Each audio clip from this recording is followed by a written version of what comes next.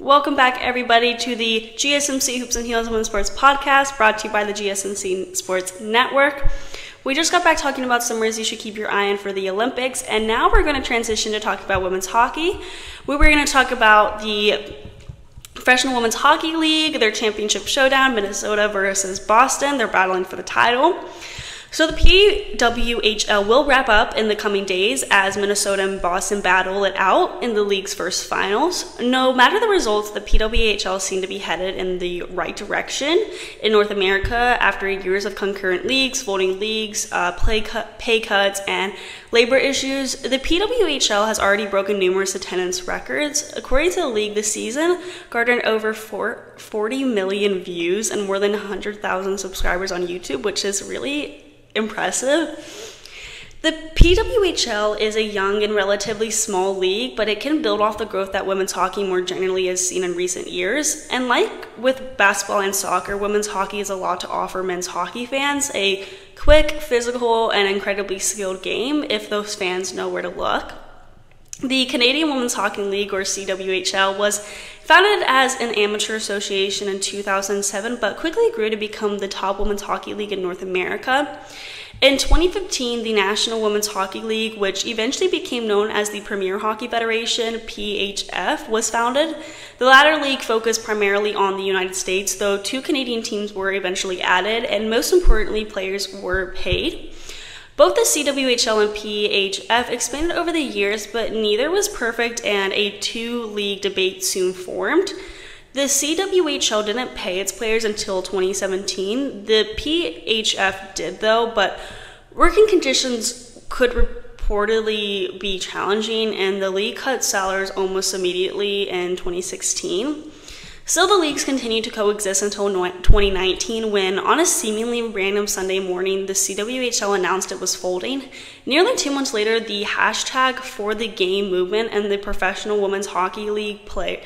Hockey Players Association emerged from the uh, ashes, formed as a temporary refuge for many of the US and Canadian women's national team players as they work better for better wages, working conditions, and stability in a full time league outside of the Olympics and IIHF tournaments. Four years after the formation of the PWHPA, the players were able to establish a collective bargaining agreement Concurrently, and as suddenly as the demise of the CWHL, the PHF was acquired by Billie Jean King Enterprises and the Mark Walter Group, setting the stage for the debut of the PWHL. Just five months later, the inaugural PWHL season began on January 1st, 2024. The league's officially unrecognized player union and collective bargaining agreement is providing unprecedented structure, and support for player rights, benefits, and salaries. The current CBA provides for a minimum salary as well as a salary cap for each team, both of which increase by 3% annually. It spells out health insurance plans, disability insurance benefits, performance benefits, including $63,250 for the championship team to split amongst players in 2025, the PWHL will implement an elective 401k plan. Standards are laid out for transportation and hotel accommodations, pregnancy benefits, parental leave, educational support, housing stipends, and relocation expenses. While this all does sound incredibly basic for professional athletes, women's hockey has had to fight for every last benefit, no matter how basic. For example, the Minnesota team and staff had to scramble, ultimately taking two different flights to make it to their semifinal series less than a day after finding out their opponent. Coaches and equally as important equipment were forced to take a later flight, delaying practices by a day, which obviously is not good for the team. The league has since provided charter flights for the teams going to and from Minnesota. Charter flights and flights in general have infamously been a sticking point of the WNBA, with the league finally instituting a full charter program for the 2024 season. While all PWHL games have at the very least been broadcast live on YouTube, linear television deals have been scarce, particularly in the US, I'll say. Locally driven networks such as Sportsnet Pittsburgh, uh, MSG, and Bally Sports have picked up games, but the league would benefit greatly from securing a national TV deal. This would provide vital sponsorship money and greater mainstream visibility, I feel like. Such deals have proven huge for women's soccer and basketball. The NWSL's current four year media deal is valued at $60 million per year, 40 times the value of the previous deal.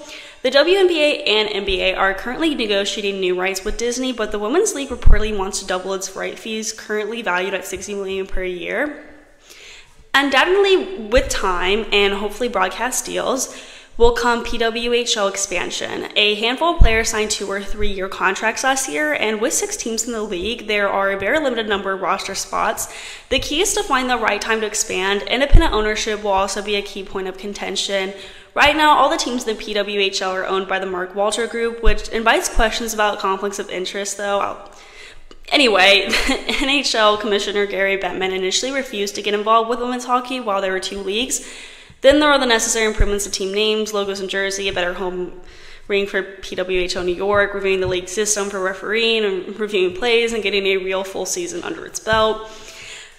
But anyway, regardless, nevertheless, let's um, talk about Boston versus Massachusetts game. I'm Boston versus Massachusetts. That would that would be interesting. Boston versus Minnesota Minnesota game. So Boston led Minnesota one to zero in the um, sorry, I was loading the picture. In the PWHL finals in the first game for the Walter Cup. In game one, Boston opened the finals with a 4 3 victory in a back and forth battle with Minnesota. The game was full of momentum swings as Boston responded to Minnesota's 1 0 and 2 1 leads with equalizers. Minnesota countered Boston's 3 2 lead with a tying goal, and Boston ultimately pulled ahead with Jess Healey's winning goal at 17 minutes and 25 seconds of the second period to cap a five goal middle frame. Taylor Heise, sorry if I'm pronouncing that incorrectly, I think it's Heise, had two goals and one assist, and Michela Cava had one goal and two assists to lead Minnesota's offense. For Boston, defender Megan Keller had two assists. Susanna Tapani scored her third goal of the playoffs. Taylor Wenczkowski netted her second, and Hannah Brandt recorded her first of the postseason. Aerin Frankel made 30 saves to secure a four straight playoff victory, with Maddie Rooney stopping 18 shots in defeat. Game one was the highest scoring contest of the PWHL playoffs to date, with the teams combining for seven goals. Both Boston and Minnesota's offenses totaled seven goals in their respective semifinals. Boston has won both playoff games and have six straight victories overall at the Tsongas Center at UMass Lowell, dating back to February 21st.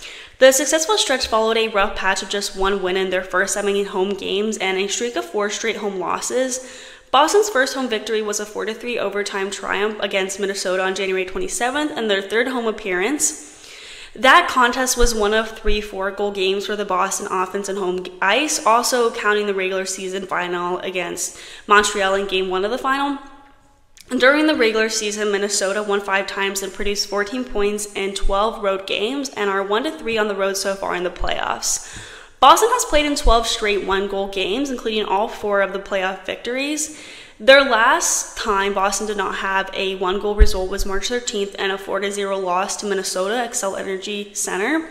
Across the PWHL, there were a total of 39 one goal games played during the regular season, which technically represents more than half of the 72 game schedule. Boston led the regular season with 10 one goal wins and 16 one goal contests and are a perfect 4 to 4 so far in one goal playoff games. They've won just twice all season by a two goal margin and have just six losses by a spread of two or more goals. Minnesota had seven wins and 14 one goal results during the regular season and are one for two in playoffs. Boston has benefited from timely goals from unlikely contributors who have made the most of their opportunities. Jess Healey scored the winning goal in game one on just her third shot of the playoffs. It was just the second goal of the season for the 27 year old who played the least for the game's six defenders on game one with 9 minutes and 13 seconds time on ice. Fourth line forward Taylor Wenczkowski scored the team's second goal in game one on her third shot of the playoffs and logged just 6 minutes and 15 seconds of ice time. The 26 year old scored her first goal of the season in the triple overtime marathon in the semifinals. And then we have Minnesota's Taylor Heise and Michela Cava found instant chemistry in game one, combining for six points total. They played on the team's top line with Captain Kendall Coyne Schofield, who chipped in one assist for the trio, all recording plus three ratings. Heise, a 24 year old rookie, scored twice with one assist on Sunday and leads the playoffs with four goals and five points. The first overall pick in the inaugural PWHL draft has matched her regular season goal total over the last two playoff performances and now has four goals and three assists in five total games against Boston. Cava scored the first goal of the PWHL finals and contributed primary helpers on Heise's goals for the career high performance. Last season, she was named the MVP of the Isobel Cup playoffs with the PHF's Toronto Six and also brings championship experience from her time playing in Russia and the SDHL. Minnesota is expected to return to goaltender Nicole Hensley between the pipes in game two. It would be her first playoff to start since a 4 0 loss to Toronto in game one of the semifinals. The 29 year old from Lakewood, Colorado, started 14 games for Minnesota during the regular season with one sh- shutout, a goals against average of 2.19, and save percentage of .919. She's more than familiar with the opposition, having started four of the team's five games against Boston during the year. So now we are going to move on to the last segment where we talk about the top 10 beach volleyball players. Before we get into that, we are going to be taking a short break. So I will see you guys very soon.